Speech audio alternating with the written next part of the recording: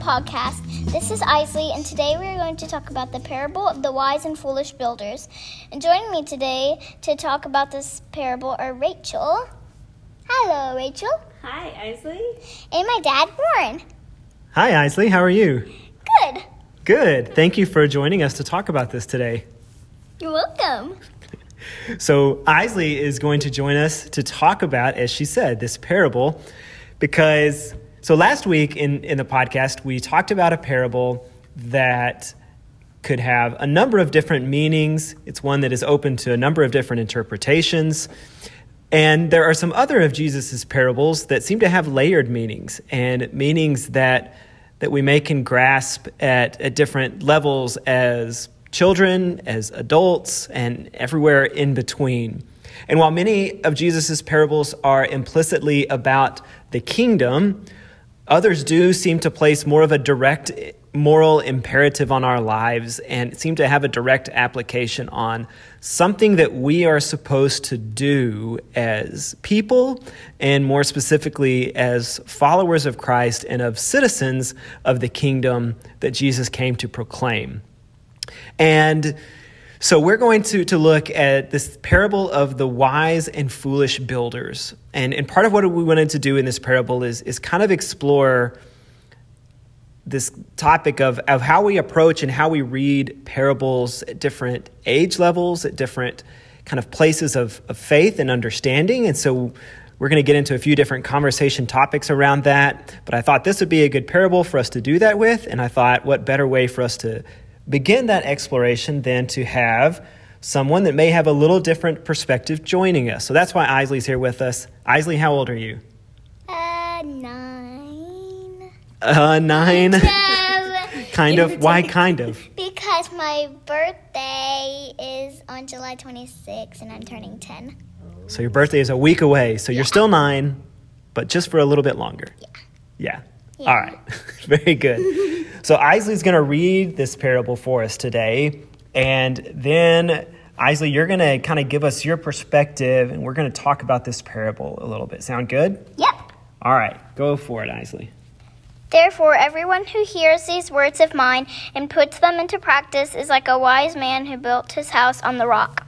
The rain came down, the streams rose, and the winds blew and beat against the house. Yet it did not fall because it had its foundation on the rock. But everyone who hears these words of mine and does not put them into practice is like a foolish man who built his house on sand. The rain came down, the streams rose, and the winds blew and beat against that house, and it fell with a great crash. Awesome. Thank you. So, Isley, if I were to ask you, what do you think the point of that story is, what would you say? What's Jesus trying to tell us? Well, that if um, we make good choices, um, there's a more likely chance that we will live longer, and if we make bad choices, there's a more likely chance that we will um, live shorter. That's good. So, what, what in the story led you to believe that? Um, well, because the person who um, made his house on rocks, because rocks are um, stable, um, it didn't fall down. But the person who built his rocks on sand, because sand isn't as stable as rocks, um, the person who built his house on sand, that house fell down. So, Jesus, so you hear Jesus saying, if we make good choices, we're going to have a better chance of living. Our life's going to be better if we make good choices, basically, right? Yeah. Good. right. What do you think Jesus would have us think are good choices? What would Jesus say are good choices? Um, like praying, and like if your mom or dad says to go clean your room, you better go clean your room, not go mess it up some more.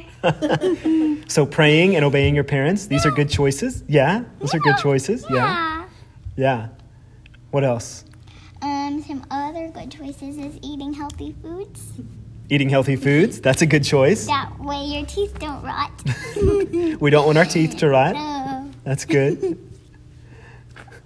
and so maybe maybe part of what Jesus is getting at too is that if we make good choices, we're going to we're going to be able to have the type of life that Jesus wants us to have. You think that makes sense? Yeah. Yeah. Yeah. Isley, when we were talking about this story before we, we started recording, you said you liked houses. You liked this story because you liked houses. What do you like about houses?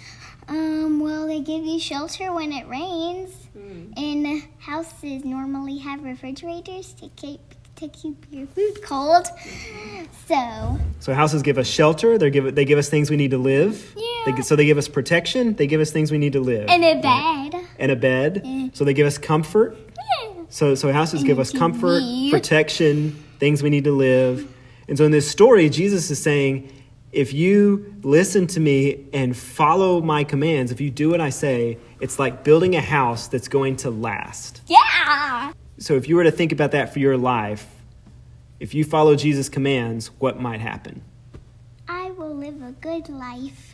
Yeah, you may have all those things that a house would bring in your own life, right? You'd have And protection. I might have a mansion. Well, he doesn't promise you a mansion, unfortunately. But you would have protection, you'd have comfort, mm-hmm, mm-hmm. right? And you'd be able to to live the type of life that God is calling you to live, right? Yeah, right. That's good. Yeah. What do you like? Anything else you like about this story? I like playing in the rain. You like playing in the rain? I don't think that was part of the story. It said rain. It did say Yeah, rain. it talks about storms. Would you rather play on rocks or sand? Mm, Sand, as long as if there's no fire ants, it doesn't stick to you, and it's not at a beach. Mm. That's a lot of conditions. Isley, do you think that Jesus was communicating this story to kids, or do you think he was telling this to adults? Both. Both? Both? You think both people were there? Both groups of people? How do you think the kids understood what Jesus was trying to say? Like me? You think they understood it like you? Yeah. Yeah. And so Jesus was telling them that if they obey his words, that they wouldn't fall away. Yeah. Do you think that the storms represent anything? Um, sin.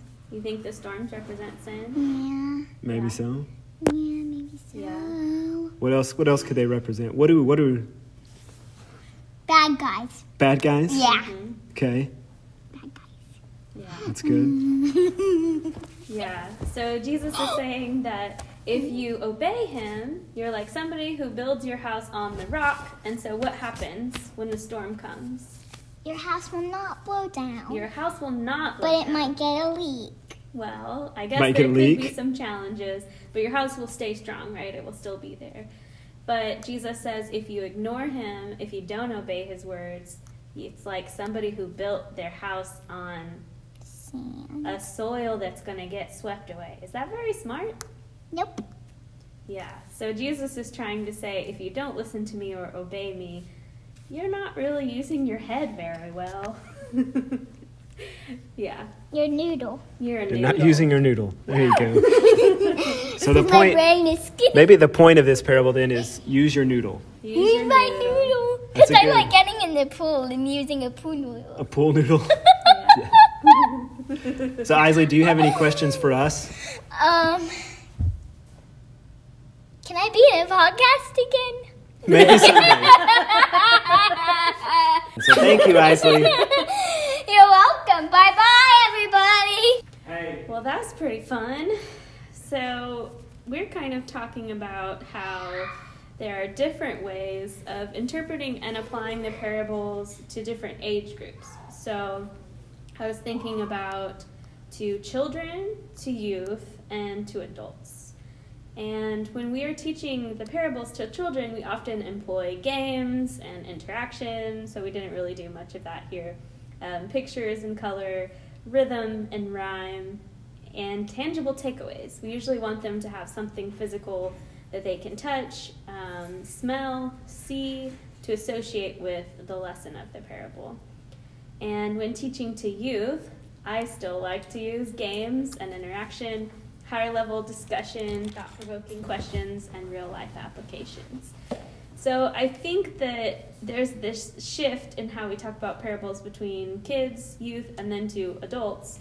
Uh, for adults, we usually use sermons, point by point Bible studies, discussion, and life applications that are a bit broader and more general that people can apply themselves um, to their lives.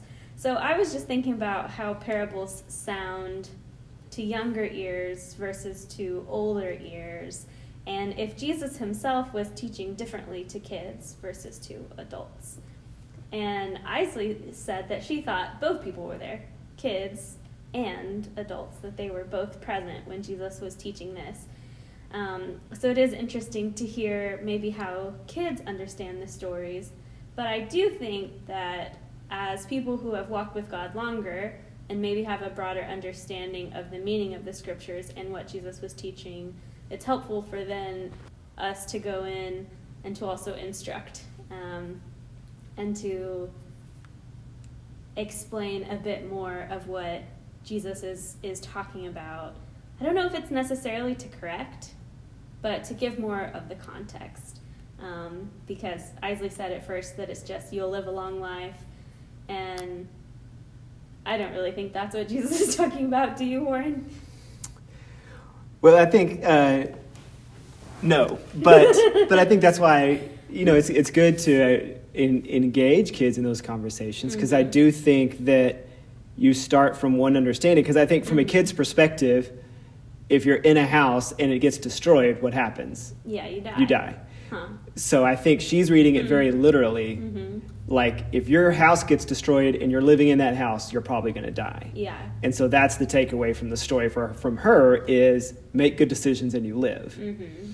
And and I think you can and so that's why you know I started asking her questions in because I think you can take that try to do this quickly on the fly in the conversation. Yeah. but if you were actually having a conversation or in a Bible class setting or something and could do this a little longer with a group of kids, I think what, at least what I would personally do is take that and say, well, you know, Jesus said he came to give us life to the full. Mm-hmm. And Jesus came to give us the life that we are, are kind of designed and called to experience as citizens of the kingdom. Yeah. And so, yes, that is true that if we make good decisions, we're going to experience life. Mm-hmm. Uh, now, does that guarantee I'm going to live a long life? Does it guarantee I'm going to have a mansion, as Isley alluded to at one point? No, it doesn't. But, but it means I'm going to experience, uh, or at least live out, the, the life that, that Jesus has, has called me to. And that's what I hear him saying there is that if you, if you follow my commands, your house is going to be built on something that's going to sustain you mm-hmm. through whatever life throws at you. Yeah. Whether it is poverty because you don't have a mm-hmm. mansion or you know sickness and death of someone in your family because long life wasn't what they they had or whatever it may be um, and so i think the same thing you know with her saying that the the storm is sin like that's not how i read the story mm-hmm. but in her mind yeah it makes sense that what's the bad stuff that could come yeah. into your life well it's sin mm-hmm. so so yeah i thought it was interesting to hear just kind of how she would have heard some of those elements of the story mm-hmm. Yeah, for sure. It's been really fun hearing how kids interpret even some of the passages of the Bible that we take for granted that we've heard so many times. Um, so, yesterday in Children's Church, we were doing uh, Psalm 23, The Lord is my shepherd. But the curriculum alluded to the story of the Israelites going through the wilderness and God leading them with the fire by day and the cloud at night. And then I had one of the youngest boys come up right in my face as I was telling the story. We were all sitting down, and he stood up and walked right up to me and said, But I thought that the fire was inside of the cloud. it's just funny, like, it's not really a significant part, but just thinking about how how kids are visual and literal too. So when they hear that God led the Israelites by fire and by cloud, you know, they might not have thought that it's like two separate things um, by day and by night. And so we are going through that story.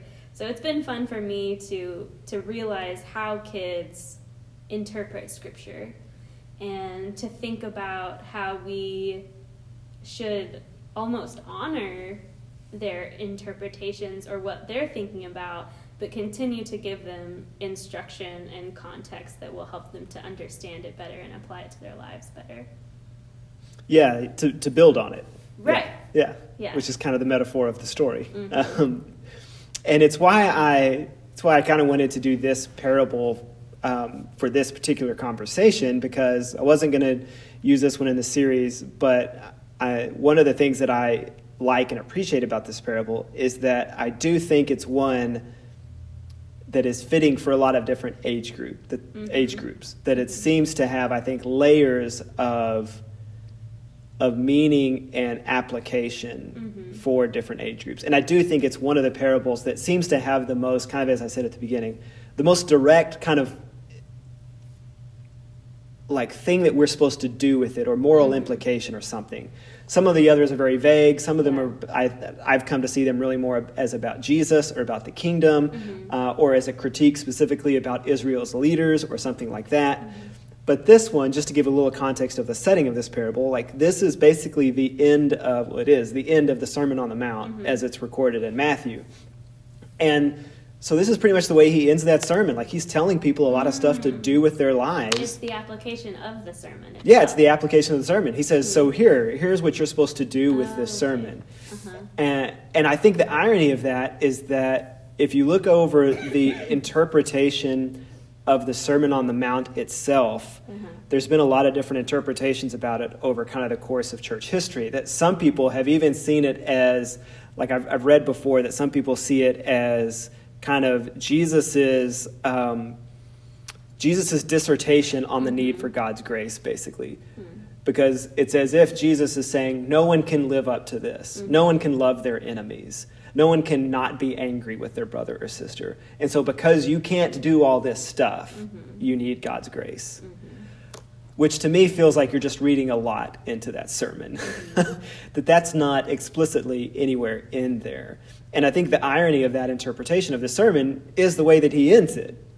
He says, if you're wise, you're going to go out and do this stuff. Right. Like you're going to hear the stuff I said, and you're going to go out and, and do it. And, and so that's one of the things that I think, you know, this, I think this is a popular parable for kids mm-hmm. because there's sort of easy to grasp imagery. Mm-hmm. Like even as Isley said, uh, you know, if you build a house on rock, it's going to stay better than if you build it on sand. Like Isley is a nine year old who knows nothing about engineering right. or construction principles or anything like that. That imagery makes sense to her as a kid. Mm-hmm. A house is going to be more stable on rock, and so. I should do that. Mm-hmm.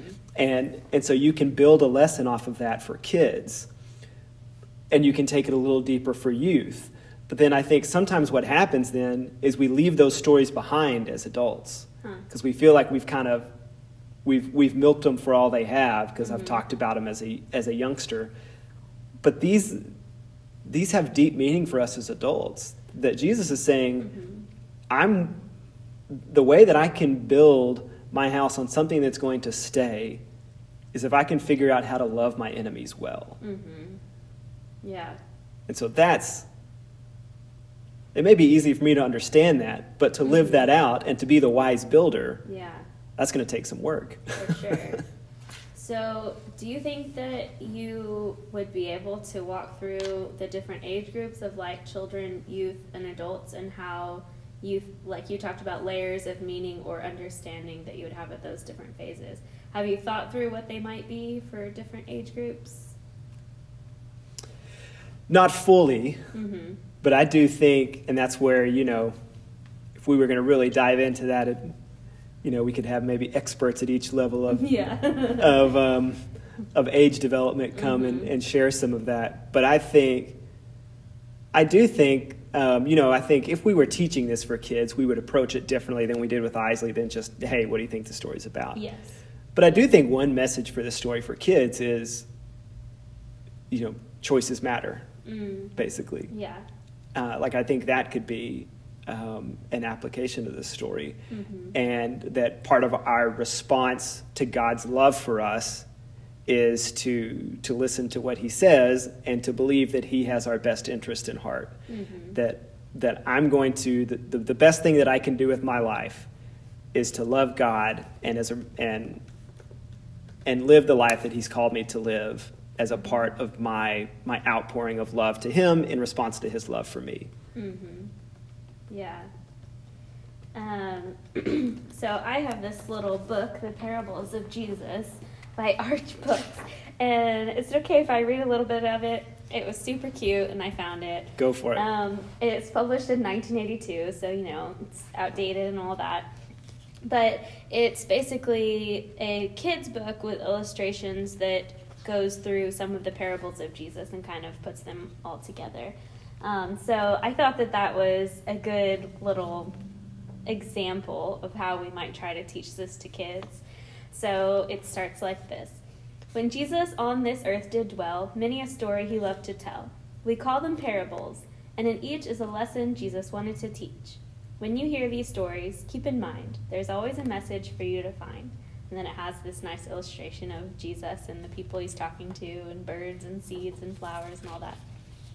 When Jesus spoke of the kingdom of heaven, he said, It's like a piece of leaven. A little yeast will make bread rise, though it's small and hidden from your eyes. The kingdom is like a mustard seed. Though tiny, it grows to be great indeed. Some seeds grow in secret there in the field, but when harvest time comes, fine fruits they yield. So it has a picture of bread coming out of an oven. And then the last one, like a house on a rock, standing firm in the storm, unshaken by wind, and safe from all harm. So is God's kingdom a foundation strong to keep you through trouble and guard you from wrong. So I feel like that actually brings in some of what Isley said and some of what you said. Um, that you said you think that a lot of the other parables are about the kingdom, but this book interprets that the parable of the two builders is also about the kingdom. That God's kingdom is, I guess, the kingdom is made up of the people who put Jesus' words into action, who hear his words and obey it, and so they have a strong foundation and won't be shaken. Um, and then Isley said that the storm is like sin, and so it says that um, that building a strong foundation will keep you through trouble and guard you from wrong. So obeying Jesus' words is like the protection against sin. So maybe then the storm is trial and temptation and being obedient to what Jesus has just said in the Sermon on the Mount and in other places is what's going to make you strong and able to stand up against temptation. So I just thought this was a nice little example of how we might teach this to kids.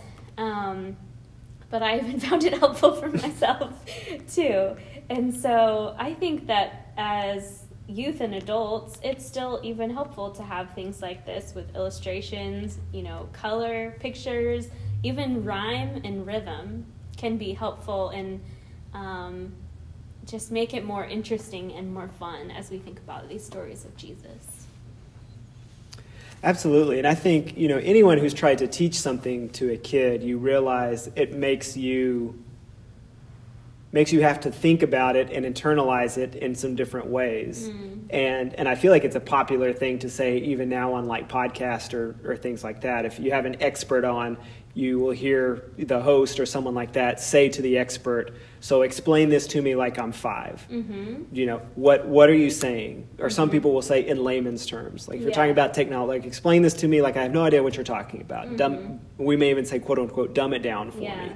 You know, and and I think the reality is you can only you can do that best if you have a full grasp of kind of every angle of mm. it. Mm-hmm. And and so I think it does help us to think about so how would I explain this yeah. to a kid? How would I teach this to a kid? What do I if I'm talking to one of my kids about this, what would I want them to take from this? Mm-hmm. And and so that's why I say, you know, with with this one, I don't think I, you know, I I do think there are some some fallacies in like in this idea that like our lives are our lives are uh, there's some saying our lives are a direct result of the choices we make or something mm-hmm. like that you know which i think is true to an extent but you could there are some maybe some fallacies there of there are just some things that are beyond our control right. and other things like that so but generally you know we want to teach our kids make good choices because mm-hmm. the, the choices you make matter and I, and I think that can be found here. And then I mm-hmm. think as you grow a little from there, there is this idea that,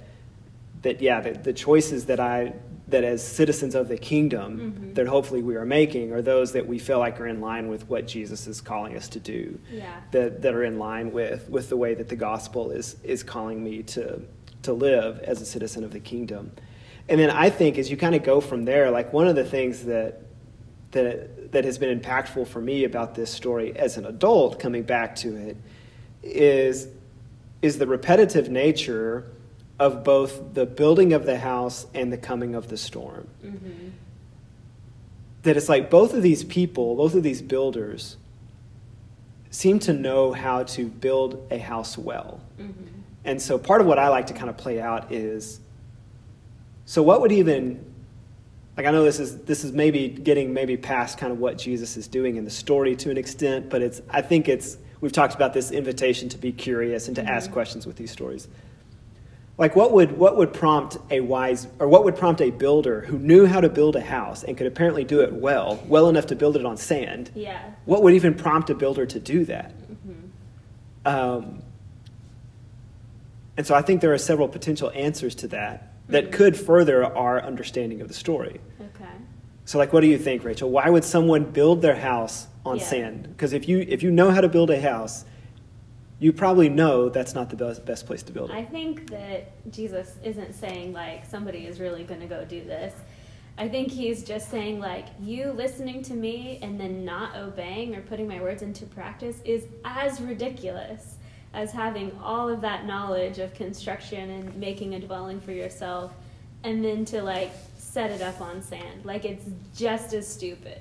You're missing the point. You're missing the key ingredient. Um, or it's maybe going to be a good house for a while and then pretty soon it's going to fall and it's not going to be some little crumbling. It's a great like a great fall a great destruction. So i think jesus is saying the point of it is himself. That if you miss me and you miss my words in the way that you build your life you've missed the main thing. You've missed the foundation. So I don't know how to answer the question of why would someone do that, but I think he's saying this is obviously a stupid choice. And so if you don't obey me, you are just as foolish as that person. Right? Yeah. What are you thinking about your question? Why would someone build on sand? I don't know. Like I, I mean, I, I, I ultimately I agree with you, but I think it. I think to me, it's just an interesting way to kind of explore some of these because I could almost like if you play out that scenario. Scenario, I do think yeah, it could be a stupid choice. It could almost. It could also be like a prideful choice. Like I can do this well enough to where it's going to stay on sand. like Yeah. I'm confident enough in what I can do that I can build this house that it's going to stay here. Um, but then the realities of life when it comes it's just like no you you can't. Yeah. so it's this reminder of, of kind of pushing against pride and that no you mm-hmm. can't always do things your way mm-hmm. without examining what would actually happen if if that happened. Mm-hmm. Um, so maybe some of it is pride. Maybe some of it could be ignorance. Maybe some of it could be i know this is risky but i'm going to kind of quote unquote sow my wild oats while i can mm-hmm. right? I know i know maybe eventually this house is going to get knocked down by a hurricane mm-hmm. but i'm just going to do it and enjoy it while i can. Yeah. well then when it happens like the actual destruction of it maybe you weren't fully prepared for you thought you mm-hmm. were but now now what do you do when your life is just devastated? Yeah. and and that you don't have anything to, to kind of come back from. So I just think to to me that's a way to kind of explore the parable a little deeper as you get older. That that maybe you could think through some of the levels of it a little more than than you know you would with Yeah. with a five year old or a ten year old Yeah. or something. Yeah. That that I think helps us to see, yeah, these are these are times in my life when I acted stupidly, or when I Mm-hmm. acted arrogantly, or pridefully, or or without any regard for for what could happen if if if I wasn't making the the kind of the choices that I knew I should make, or, or Yeah. following Jesus as closely as I knew that that I should be. Mm-hmm. And and the other thing about the storm that because I do think to to me the storm just represents like anything in life that could throw you off. Yeah. And, and, and that could represent a number of things. Mm-hmm. It could represent your sinful behavior. It could represent loss of a job. It could represent loss of a family member, Or someone in your literally family a dying. storm, like a hurricane. Literally a Like, storm, yeah, natural disaster. Twice. due to hurricanes and floods. Right. Yeah. Anything in life that could throw your Yeah. life off course. Mhm. And and so I think in, in that case, I think that that's this reminder to me of when those things happen, it's too late to go about building something up. Mhm. You have to have something that has a firm foundation Yeah. at that point that's going to withstand it. Mhm. That when the storm is coming or when the storm is upon you, it's too late to say, all right, now I'm going to buckle down and, and build a faith. Mm, yeah, yeah, that's really good. I think that one more application that we could get to in our adult life or possibly at youth, at youth is to go back a little bit and to see it simply again, to try and interpret the parable through childlike eyes. And what I mean by that is to to try and apply precisely what you think Jesus is getting at. So I think that looking at this with adult eyes or with someone who's walked with Jesus for a while, I should look at this parable and then evaluate my life and my Christian walk and go back through the Sermon on the Mount and say, if you're telling me if I don't obey what you're saying, then I'm as stupid as somebody building their house on the sand, then I need to go back through and check all these things. Like, am I loving my enemies? Am I showing generosity? Am I forgiving those who've hurt me? Um, am I rejoicing when I'm persecuted? Am I worrying about finances and provision? Like to go through all of those things and to just really take an honest assessment of am I living out the teachings and the words of Jesus? Because if not, he says that I'm foolish and I don't want to be considered foolish by God or anyone else. So I think that that's like an adult application that's going back, you know, more simply, taking it um, at the, the basic layer of what it is. I think that that has just as much meaning as any like more complicated application we could make. I agree. Yeah, and and again, I think it's to me, it's it's what makes this a a good parable to explore at different age groups because on one level, it is the simplest, one of the simplest parables I think Mm-hmm. to understand what Jesus is saying. Yeah.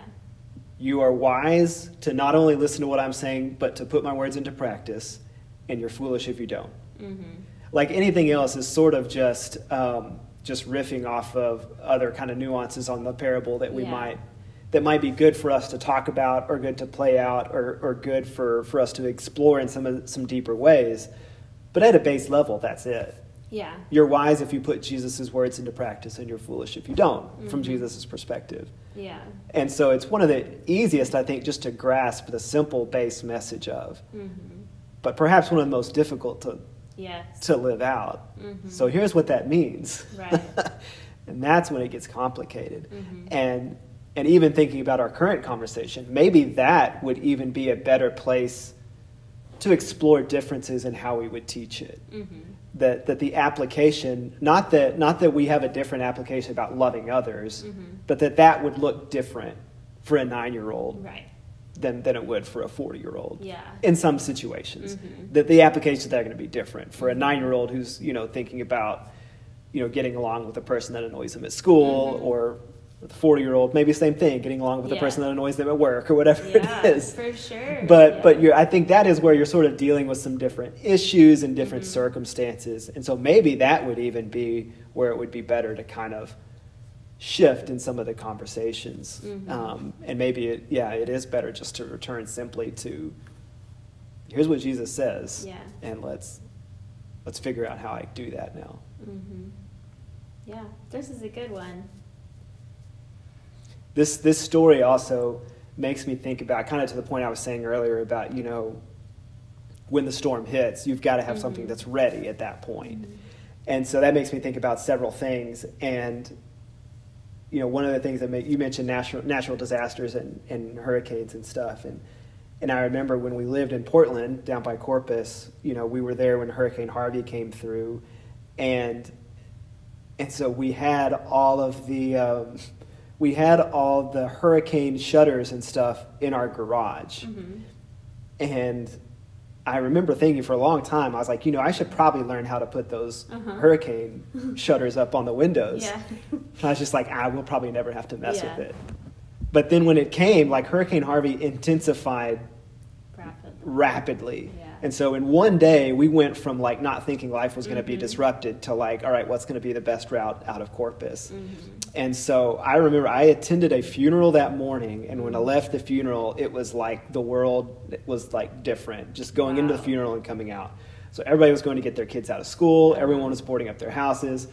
So I, Ashley had to go get Isley from school, and I had to go home and figure out, like that day, so how do you put these hurricane shutters on houses? Luckily, I was able to call people and be like, all right, so what do I do with this? Where Uh-huh. does this go? But that was the sort of, room, and I, so luckily in that case, I figured it out. Yeah. Which probably isn't the best application for this story today. But it's like if I didn't have those, I would have been in trouble. Right. And so luckily I was able to call people who knew. But whereas before I was like, am I ever really going to need these? Mm-hmm. Um, you know, that was like, you know, chances are probably not. Like Yeah. these are just taking up space in my garage. Do I even need these things? Mm-hmm. But then when you need them, it's like, now I really need these. Yeah. And it doesn't matter what else I have in this house. It doesn't matter what other possessions we have here. Like none of it's going to last Mm-hmm. if these if these shutters aren't put up and put on Yeah. properly. Mhm. And and so I think about that sometimes with this story. And the other thing that I think about, just kind of about that idea of being ready, is the story of um, Shadrach, Meshach, and Abednego in in the Old Testament, which is one of my favorite kind of Old Testament narratives, because I think of those three as as guys who it was like they knew where they stood, they knew what their, what their foundation was.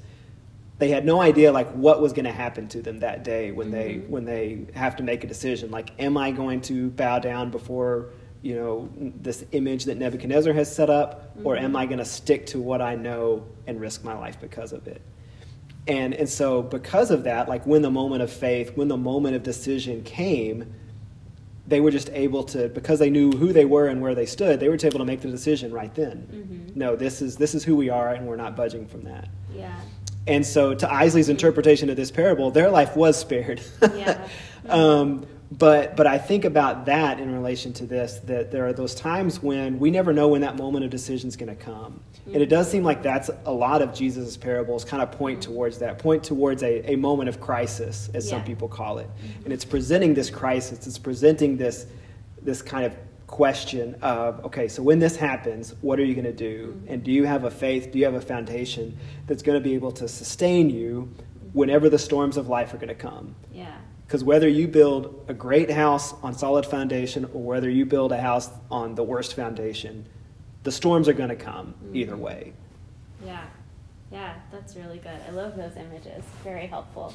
To, for me, almost all of the parables remind me of the parable of the sower, and how uh, in that one Jesus talks about that there are some people who, when crisis comes, or the cares of the world, or wealth, or whatever, or temptation, the seed is lost. It's torn away. Um, and so I think that this one relates to that. And Jesus is saying, if you set your foundation on me, you will be prepared when those things come and you'll be able to endure. Your faith won't be knocked down. And so I think that's the key here. yeah and that setting our foundation on him isn't just listening Doing it's listening and then doing it the hard part. the hard part Right. Because he was probably really fun to listen to. but the doing, I think a lot of people went away scratching their heads, and then some of them were like, yeah, I'm about this. I'm going to follow this guy. And other people were like, I don't know, that looks too risky. He's talking about like drinking blood and stuff. I don't know, that's weird. Yes. Well, thank you, Rachel. Isley's not here anymore, so we can't tell her thank you. But We'll it was good. later. It was good to get her perspective on it as well, Yeah. and good good to explore these parables. I don't know that we'll explore parables every week of this series. Some people may be getting tired of parables, but there's a lot of parables to get into and a lot of things to, to explore with them. So, Rachel, you want to close us out today in prayer? Okay, yeah, let's.